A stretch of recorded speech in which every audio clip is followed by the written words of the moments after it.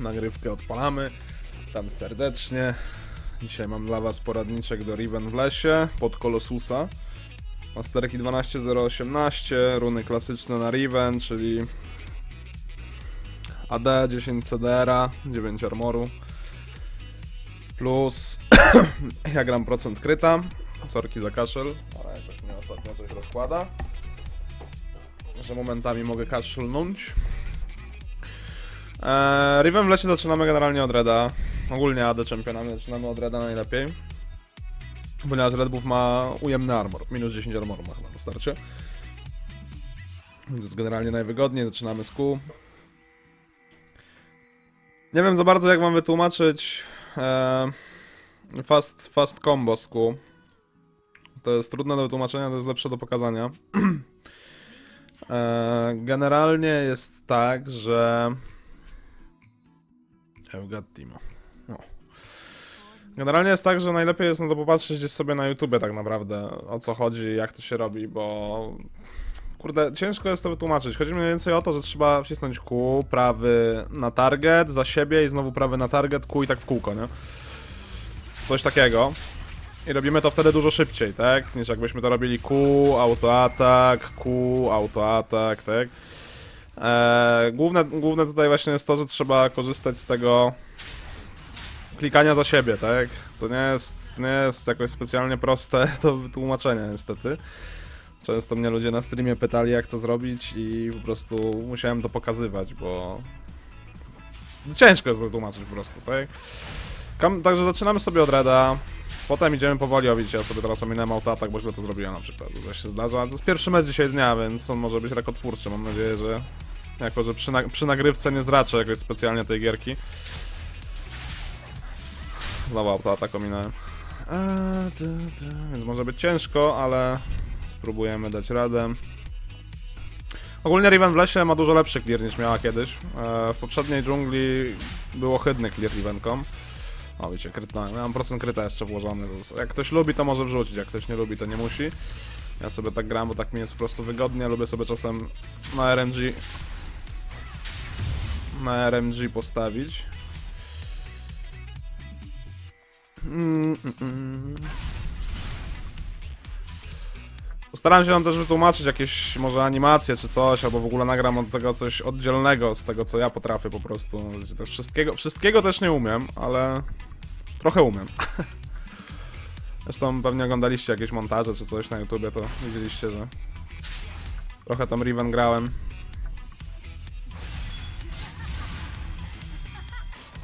Top tam umarł.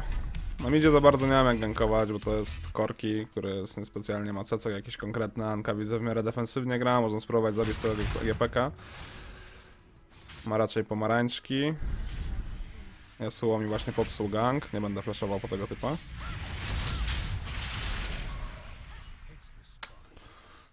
Niestety. E, ogólnie Riven pod Kolosusa. Dlaczego Riven pod Kolosusa? Kolosus zapewnia nam przeżywalność w momencie, kiedy i tak idziemy pod Full AD tak naprawdę, tak? Bo gramy TBCK, gramy Hydrę, e, Mała i tak dalej, i tak dalej. I ogólnie e, Kolosus, założeniem Kolosusa jest to, żeby zapewnić nam przeżywalność w momencie, kiedy gramy pod, pod Full AD, tak? Kolosus wiemy jak się skaluje. Kto nie wie, polecam przeczytać. Kolosus jest dosyć silną, silnym samonerem, który teraz doszedł w presezonie do masterek. Eee... Co powiedziałem samonerem? Człowiek rano to jeszcze widać nieogarnięty. Eee, jeśli powiedziałem samonerem, to przepraszam. Jest e, masterką, tak? Dodaną stosunkowo niedawno, czyli teraz w presezonie. I Kolosus daje nam shield, w momencie, kiedy hard cecekujemy, tak? Dla firmy Riot Games yy, hard cecekiem jest prawie wszystko poza jakimiś slowami, tak? Więc takie rzeczy jak Flink Singeda mm, odpalają tą tarczę czy coś. Hej Sandik, witam. Eee, także... Także u Riven możemy proknąć sobie tą tarczę dwoma spelami tak naprawdę. Możemy proknąć z W i możemy proknąć z trzeciego, z trzeciego Q. Jako podrzutkę, jako stun. Czy ja umrę na tych wilkach? Nie powinienem. Dobra, umrę chyba. Time to run away. Ale jest minus Riven się, że ona trochę, trochę ma kłopot.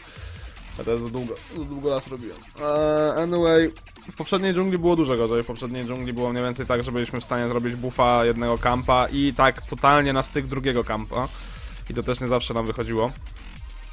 Teraz jest o niebo lepiej. Z racji tego, że smite działa tak jak działa, tak? W tej chwili jest tak, że smite e, nas leczy za każdym razem. W ogóle jak pruszy śnieg, to ja nie mam pytań. Zima się zaczyna, moi drodzy. Botlane nam umarł. Nie wiem jak pomóc niestety. Thanks for heal, scam. No cóż. Jeszcze w jakimś oddzielnym może poradniku spróbuję wall jumpy porobić i tak dalej, bo to też jest przydatna rzecz. Sumie podstawy Riven. Bez tego Rivenką ciężko się gra strasznie. Maksujemy Q, drugie maksujemy E. Idziemy normalnie pod Warriora, tak? Potrzebujemy 40 CDR-a, to jest klasyk na Riven. Bo znaczy w momencie, kiedy gramy pod Colossusa, tak? Bo jak gramy pod... E, pod Thundera, no to gramy z reguły 45% CDR-a.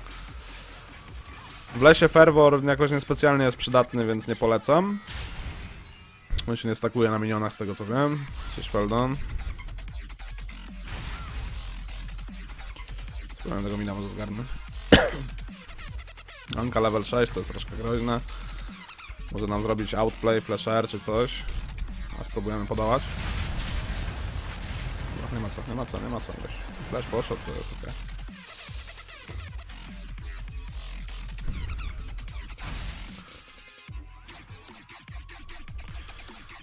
Znaczy jak wprowadzą sandbox mode stuff it to tak, to wtedy, wtedy można to robić, bo i komba, tak, i te wszystkie resety i tak dalej, to wszystko można robić z flashem, wiesz, wall jumpy i tak dalej, można to poćwiczyć, no bo wtedy to będzie dużo wygodniej robić, tak, no w tej chwili nie mamy sandboxowego trybu, więc trochę to jest ograniczone, bo komu się chce po prostu siedzieć na customie i czekać na cedeki, tak, żeby pokazywać różne rzeczy.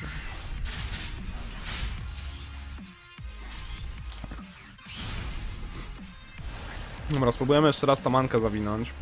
Tym razem może nam się udać, ona nie ma flesza, ja mam, więc ja z fleszem po prostu wbiegnę. Tylko tu może być wizja w ogóle. To i pewnie jest, bo gość strasznie, strasznie defa. To jest. W sumie to... O Boże, minion block. Eee, ogólnie jest tak, że to, co na przykład teraz zrobiłem, tak? E, to jest w sumie jedno z takich podstawowych komp, jakie można zrobić. Ja wiem, że pewnie Miłosz to obejrzy i się będzie ze mnie śmiał, bo Miłosz Main Riven, kolega mój, serdeczny. um, jedno z takich podstawowych komp, które się robi, tak? Czyli ER. W momencie, kiedy wciskacie ER, to omijacie, um, omijacie totalnie animację kastowania się erki, tak? Czyli tego wyciągania miecza w pełni to wciskacie ER i omijacie tą animację totalnie, czyli robicie to po prostu dużo szybciej, tak? Tak samo można zrobić e, z W na przykład, tak? EW klikacie i instakastujecie jedno z drugim. EQ to samo, za pomocą E ogólnie i Hydry najczęściej się, się te animacje resetuje.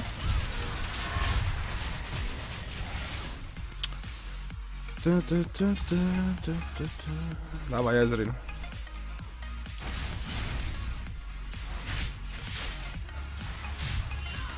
No i łatwo. Ja autosa sobie ominąłem w ogóle. Master nam zrobi outplay, jak nic.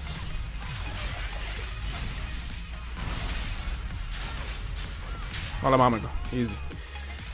Ja w ogóle chyba stuna, stuna ten. Źle spaliłem, nie wiem czego zastanowałem tak szczerze. Erka też można, cast Erki można ominąć też flashem, jako ciekawostka. E, w skrócie wygląda tak, że wciskamy air flash, tak? Wciskamy air flash i w momencie, kiedy wciskamy air flash, to omijamy też e, całą animację kastowania sierki, tak? To jest taki kolejny, kolejny przydatny, że tak powiem, protip. Kończymy Warriora. E, ten Warrior też nie jest specjalnie wymagany, tak? Ale on jest przydatny, bo Warrior to jest jednak 60D sporo nam daje w samym lesie, plus yy, 10 CDR, tak? Więc to jest, to jest yy, coś, co jest dla nas jak najbardziej przydatne.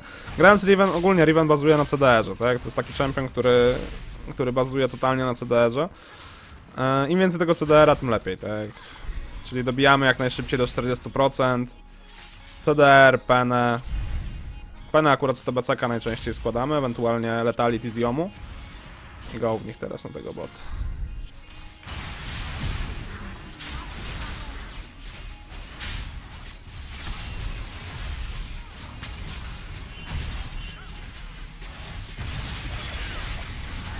Jezus Maria, źle zrobiłem ten, źle zrobiłem combo.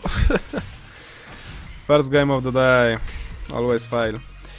Eee, anyway, tutaj zrobiłem takie combo, znaczy za wcześnie zrobiłem ogólnie. To jest przydatne combo.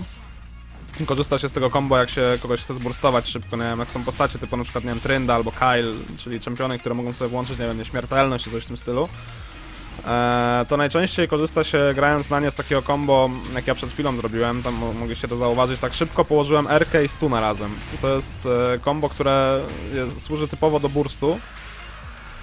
E, czyli wciskacie E, chyba, znaczy zależy też w jakim, w jakim punkcie walki jest, jakby jesteście, tak? Ogólnie combo wygląda tak, że wciskacie najpierw RK i potem insta W, tak? Kładziecie RW i damage z Q wchodzi przed damage'em z Rki, z Windslasha. I wtedy burstujecie jak najbardziej. Jak wiemy, damage Riven z Rki jest zależny od missing health'a. Tak jest. Macie napisane bardzo ładnie, yy, więc jest jakby ważne, żeby wyłożyć to w odpowiednim momencie. Więc jak na ironię puszczamy RW, ale damage największy wyciągamy właśnie przez to, że ten stun jeszcze wchodzi przed, yy, przed jakby dotknięciem Windslasha. Kiedyś by się tego nie dało zrobić, bo kiedyś, kiedyś na... chyba by się nie dało zrobić, no, może by się dało. Kiedyś, e, kiedyś na Rivence Winslash leciał dużo szybciej. Nie wiem, czy kojarzycie, była taka zmiana, to był w sumie nerw. To starsi gracze z sezonów tam 3-2 chyba mogą to kojarzyć, bo to chyba w jakoś czwartym sezonie to zrobili.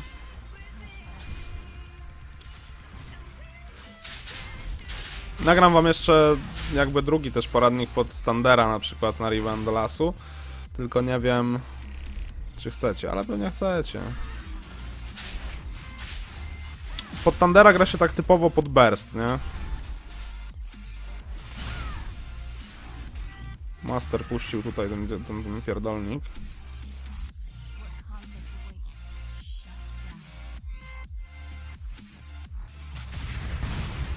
Anka ma flesza, idzie zwardować. Botlane robi coś bliżej nieokreślonego, bo botlane ginie non-stop.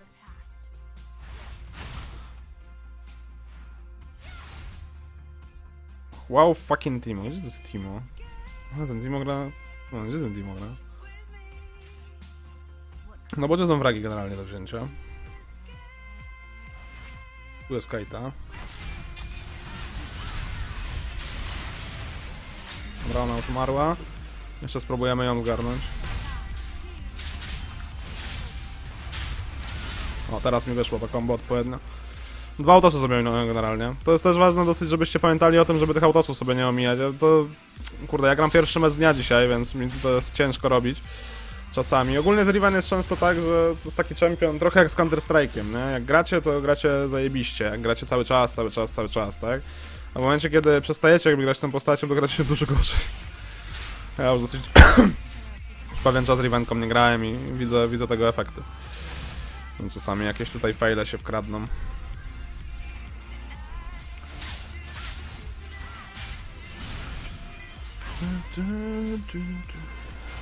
Ogólnie ich red wstał. Master jest na topie, więc na spokojnie możemy sobie tego reda pobrać.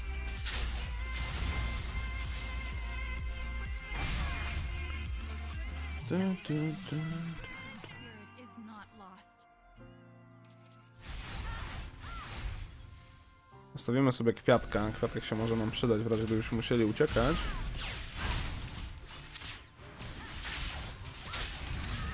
Co ten Bimpor? Chciał mi to zabrać, jak nic. Kolejny drag to jest znowu Infernal, 2,5 minutki.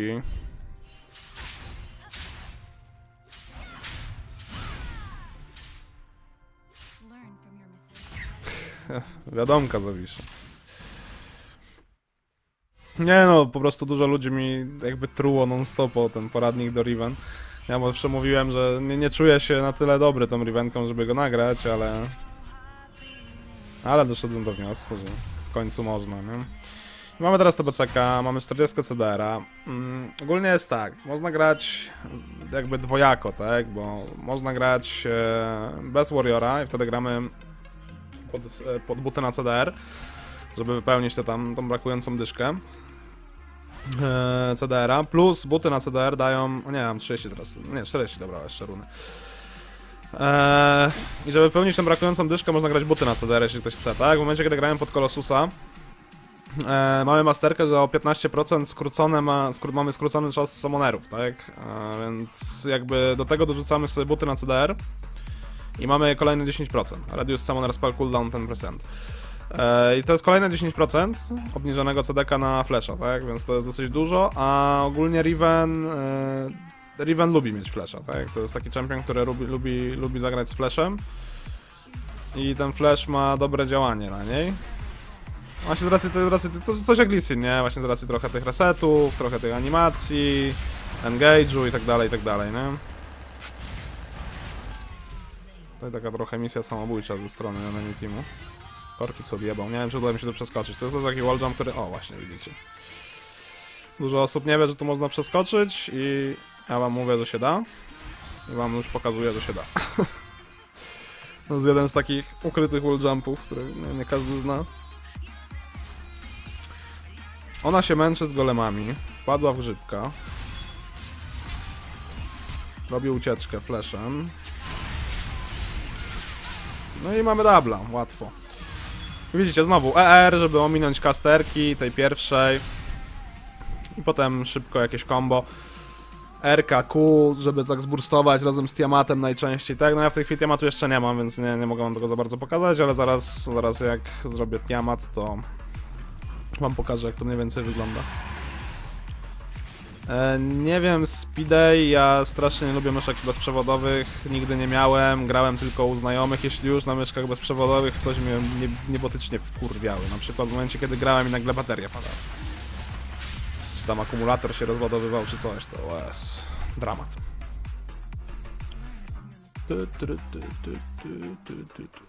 Ogólnie dlaczego jeszcze czerwony smite, bo też mogę ktoś zapytać czemu czerwony smite. Czerwony smite jest najlepszy na Rivence w lesie, bo tak, no niebieski nie jest nam specjalnie potrzebny, bo i tak yy, w sumie jak potrzebujemy to złapiemy każdego. No Riven jest dosyć mobilnym czempionem mimo wszystko. E, natomiast e, Red Smite daje nam strasznie mocne, strasznie mocne duele. Z Red Smite'em jesteśmy w stanie dużo, dużo przykrych rzeczy zrobić przeciwnikom, tak? Jeden na jeden. Tylko Red Smite jest mocny. E, takie jedno z komp na przykład do farmy. Ja wam pokażę jak mniej więcej wygląda. E, czekajcie, muszę, muszę zerknąć, bo ja to ro- robię instynktownie, a zapominam jak to się, jak to się robiło, dokładnie mówiąc, nie? Tak, e, jedno z komp takie do farmy dosyć wygodne, czyli zgarniamy całą linię praktycznie naraz, e, falę minionów. To jest e, E, Tiamat, QW, Insta. No i autoatak trzeba wpleść gdzieś tam pomiędzy, tak?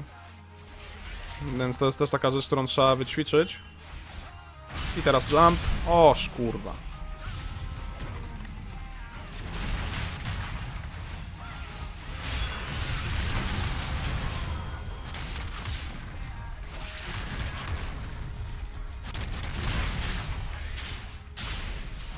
No i łatwo. E, też pamiętajcie, żeby jakby się nie opierać na samych, e, samych stricte kombach, tak? Bo czasami w zależności od danej sytuacji musimy coś zagrać inaczej. Na przykład nie wyłożyć autoataku, żeby mocniej kogoś scekować, tak? W momencie, kiedy nie jesteście pewni, na przykład ja tutaj byłem pewny, że dam radę wyłożyć ten autoatak, e, jak GPK biłem. Mm, ale w momencie, kiedy nie bylibyście tego pewni, że wyłożycie ten autoatak pomiędzy, pomiędzy spelami, to tego nie róbcie i na przykład wciśnijcie sobie stuna i trzecie kół, żeby gościa dwa razy stycekować i wtedy macie większą szansę, żeby, żeby po prostu go zabić w razie czego, tak? Chociaż tu mogłoby braknąć tego autosa. Gdyby, gdyby tego... Gdybym tego nie zrobił, to mogłoby braknąć tego autosa.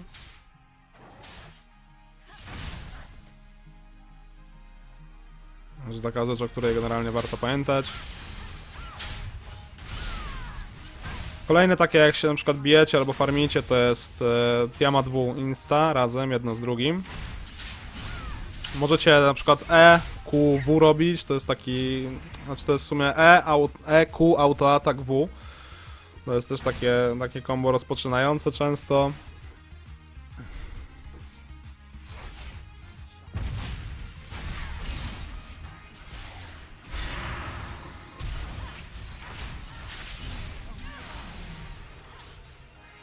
No cóż, gierka jest raczej łatwa.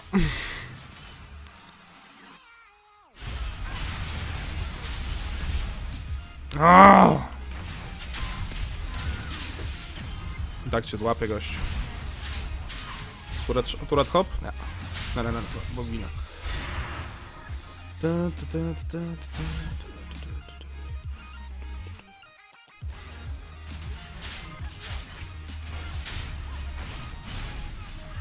Także tutaj radzę się też nauczyć, nauczyć korzystania z Tiamatu, bo, ja wiem, że czasem ludzie kupują, a w ogóle nie korzystają.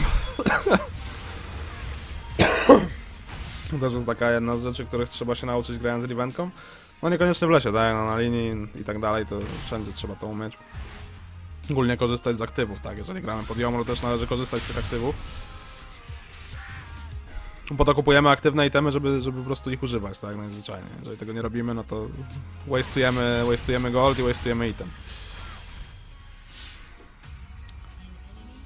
To co tam jeszcze mamy? Na przykład jeszcze można zrobić takie otwierające combo, to jest E, e Tiamat lub Hydra, tak, e, W plus Q na końcu. Może zaraz spróbuję to też zrobić. Wiecie. Coś takiego robimy. Jest, to jest dosyć, dosyć dobre. Chociaż najczęściej mówię, najczęściej do walki, jak jesteście na linii czy z kimś duelujecie, najczęściej używa się ER, autoatak, W, autoatak, Q, autoatak, Q, autoatak, i tak, i tak w kółko. Więc i tak to wygląda. Buty do, dowolne tak naprawdę możemy kupić. Możemy kupić tabi, jeśli potrzebujemy, możemy kupić merki, ja sobie kupię piąt, nie, trójki, co by biegać troszeczkę szybciej. Eee, co oni mają? Trochę apeków można iść w QSS-a. QSS jest dobrym itemem też na Riven, także polecam. Mawą w Malmordzie jest dobrym itemem na Riven, jeżeli mają dużo apeków, tylko to trzeba brać pod uwagę, że on daje 10 CDR w tej chwili. Więc jakby można zrobić over CDR albo grać po prostu na runach bez CDR-a. Dlatego mała się jednak często dosyć składa. Więc można po prostu wybrać najzwyczajniej runy, w których e, nie wrzucamy CDR-a, tak?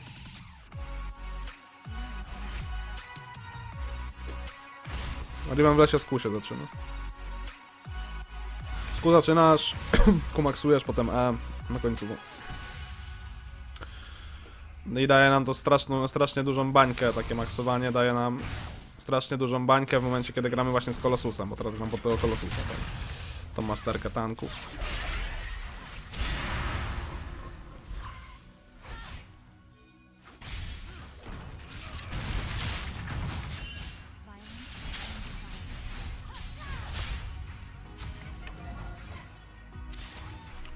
A, jest ten kaszel ohydny.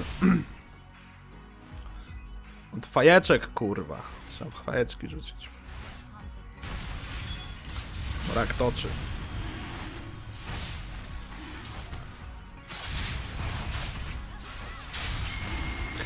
No właśnie, bo tego w sumie nie wspomniałem. A może być tak, że ktoś po prostu nie zna, nie, nie zna kurczę speli i tak dalej. Ogólnie Rivenka, nie wiem, mówię, może nie każdy znać ten pasyw. Ogólnie Rivenka ma taki pasyw, że po, każdym, po każdej użytej umiejętności ma zwiększony kolejny autoatak, tak? Bonusowy, no. To jest 45% od naszego maksymalnego AD, tak? Czyli w tej chwili to jest 163,44. E, I to jest pasyw Riven. Właśnie dlatego się robi te wszystkie fast comba, dlatego się te autoataki, wplata i tak dalej. Żeby maksymalizować damage. W momencie, kiedy gramy Riven i nie wplatamy tych autoataków, to tak naprawdę nie robimy damage'u tak? Bo samo, samo tam Q, samo W i, i tak dalej, to nie robi damage'u. Samo z siebie tak po prostu rzucane, tak? Więc trzeba, trzeba korzystać z tego pasywu. W innym wypadku po prostu no nie bijemy tyle, ile powinniśmy bić, tak? Ale mi strzelił w łeb, what the fuck.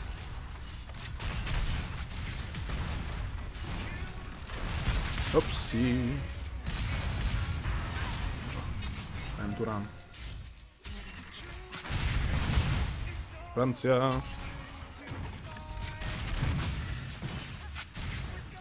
W sumie jakby w nich tu wbić.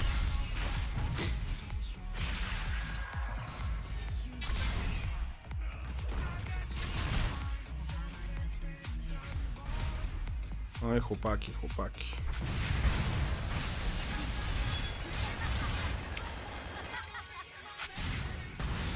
Ale ją ustrzelił piękniutko. Tu nie ma mastera robiącego żuka czy coś, nie?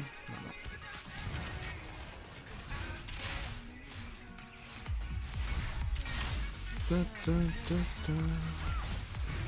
I to jest coś, co nas boli, taka Anka na przykład.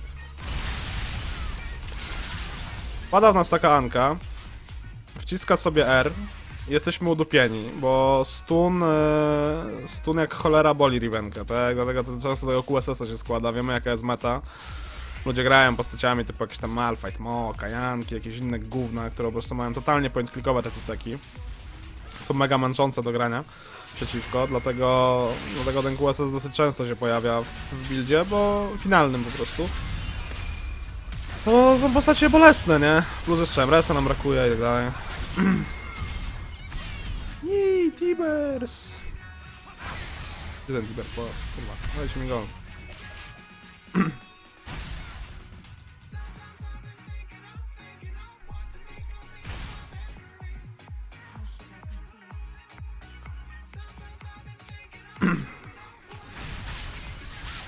To co tutaj Riven zrobiłem, znaczy tej Kejcie zrobiłem, to tylko nie wiem czy w sumie mi to wyszło tak jak powinno, tak szczerze, bo nie zwróciłem uwagi. Eee, coś takiego co zrobiłem tej Kejcie przed chwilą, to było combo hmm, ER Flash, autoatak W, Hydra i double RK Q. Znaczy druga RK, tak? Czyli Wind Slash i Q na końcu. Ale zostanę stuna i będzie outplay, ale może zrobię cornera? No dobra, no, przecież cornera. To jest akurat in, in jump. Chłopaki pozostali bez najmniejszych szans generalnie, mam 17 level to 13.03 od defa. Pamiętajcie też, są takie dosyć istotne rzeczy, jak na przykład właśnie skakanie przez inhiby, skakanie przez turety, e, czy skakanie przez rogi, to się nazywa corner jump. Zwiększamy dystans, tak? No normalnie, zobaczcie, jak przeskakujemy w taki sposób, to skaczemy dalej niż jakbyśmy, niż jakbyśmy skakali tak po prostu. Są też pewne rzeczy, których trzeba się nauczyć. Ja spróbuję zrobić jakiś oddzielny, oddzielny jakby poradnik do, do tych może skoków, właśnie do tych corner jumpów i tak dalej, pokazać jak to wygląda. Eee, bo po prostu to jest dosyć trudne i tego się trzeba też nauczyć grając Riven, tak? Bo to jest istotna rzecz. E, bo dzięki temu skracamy, skracamy po prostu sobie dystans do przeciwnika. Jeszcze wam pokażę, jakie runy i masterki dokładnie grałem na tym koncie teraz. Runy grałem takie, 12 AD, 10 CDR, procent kryta, mm, 9 armoru. Masterki z kolei grałem sobie pod Colossusa, czyli 12, 0, 18. Tu dajemy attack speed, spell damage jakoś tak nie przypadam, wolę ten attack speed mieć, szczególnie jak w lesie gram. Na linii też jak gram, to wolę, wolę mieć ten attack speed, to jest niby 4%, ale to się przydaje całkiem. Fresh Blood, e, Vampirizm, Double Edged Sword, ewentualnie Battle Trance można wziąć, ja wolę Double Edged Sword. E, no i tutaj wszystko jedziemy tak, nie? Pod Colossusa, Colossus daje nam tarczę za każdy cecek, tak, im więcej ludzi, tym więcej tarczy i 7% od naszego health'a. Także można coś takiego grać, e, ewentualnie można grać tutaj health zamiast większych shieldów, aczkolwiek w momencie kiedy gramy pod Colossusa razem z maksowaniem drugiego E, no to wydaje mi się, że to jest lepsze, bo to jest jednak 8%, tak? Wygląda to, wygląda to dosyć, dosyć dobrze i daje nam dosyć dużą tarczę faktycznie. Mm, tutaj jest ta masterka, o której mówiłem, że redukuje Summoner Spell o 15%, która w połączeniu z e, Ionkami daje nam 25% e, mniejszy cedek na flesza, tak? To jest dobre dosyć do Riven też, do Lisina też, więc też, też się opłaca brać tą masterkę na Lisina. I w sumie tyle, także dzięki wielkie. Finalny build jeszcze może ewentualnie bym powiedział, jaki bym złożył tam. Czekajcie, to może wejdziemy sobie w item sety. Eee, Co ja miałem? Złożone, Warrior, czerwony Warrior, miałem złożony, eee, Boots of Swiftness miałem złożone, Black Cleaver, Hydra. Są cztery itemy, tak, e, dalej składałem QSS, czy tutaj jest całość? Jest, Mercurial. Złożyłbym Mercuriala pewnie na tamten mezet z tego, że była Anka, złożyłbym pewnie na last item albo LW, albo LW, albo sytuacyjnie jakby kolejne itemy, które można złożyć to jest MAU, czyli Mawą Malmortius, tylko pamiętajcie, że daje 10% CDR-a, to samo Jomu, 10% CDR-a i Letality, od biedy można grać pod DevDance'a, od biedy można grać pod Trinity, ale to już raczej jak się jakoś mega snowballuje, chce się człowiek pobawić, to wtedy, wtedy warto grać pod Trinitkę. Eee, co tam jeszcze było z tych itemów? Betek, Blood Tirster też jest itemem, który jak najbardziej można złożyć. Grałem parę razy, jak już byłem mega nafidowany pod Infinitkę, też fajny damage daje, więc to sobie się można pobawić czasami. Pod Duskblade'a można ewentualnie, ale Duskblade ma pasyw, że żeby zadać ten true damage musimy być niewidoczni przez sekundę więc, dla przeciwników, więc to jest średnio opłacalne, aczkolwiek jak już ktoś ma za dużo golda i chce się pobawić i chce po prostu złożyć Letality, no to można sobie złożyć. Widziałem pod Maleta, że ludzie grali, ja sam grałem z raz i nie podobało mi się, ale ewentualnie można.